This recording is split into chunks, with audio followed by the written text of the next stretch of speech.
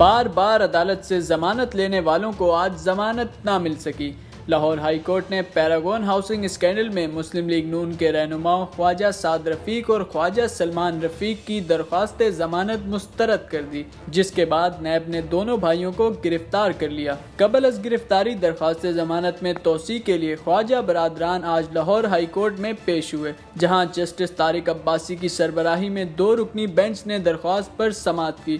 سماعت کے آغاز پر خواجہ برادران کے وکیل اعظم نذیر اور خواجہ امجد پرویز نے دلائل دیے اور کہا کہ نیب کی جانب سے کوئی ثبوت پیش نہیں کیے گئے، جس پر عدالت عالیہ نے دونوں بھائیوں کی درخواست ضمانت میں تیرہ دسمبر تک کی توسیع کر دی۔ اس موقع پر خواجہ برادران کے وکیل کی جانب سے استدا کی گئی کہ کیس کی سماعت ایک ہفتے تک ملتوی کر دی جائے۔ تاہم، عدالت نے توسیع کی درخواست مسترد کر کے بحث آج ہی مکمل کرنے کا حکم دیا، جس پر سماعت دوبارہ شروع ہوئی اور خواجہ برادران کے وکلا نے موقف اختیار کیا کہ پیراگون ہاؤسنگ کیس کے ایک ملزم کو گرفتار کر کے ایک سو چونسٹھ کا بیان ریکارڈ کروایا گیا ہے، جبکہ بیان کی کاپی بھی نہیں دی جا رہی۔